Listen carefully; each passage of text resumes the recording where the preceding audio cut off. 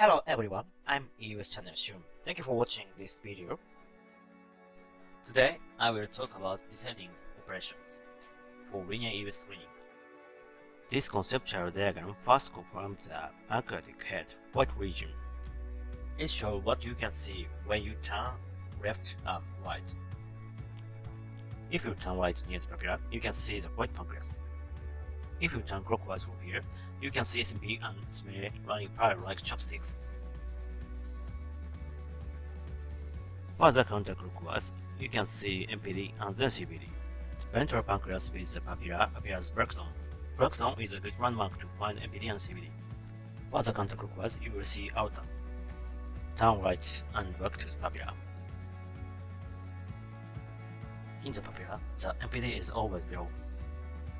Further clockwise rotation to see SMV and SMA. Finally, turn right until the white pancreas head disappears. In the duodenum D2 operation, it is important to remember which organs are visible by rotating right and left. Thanks for watching your channel.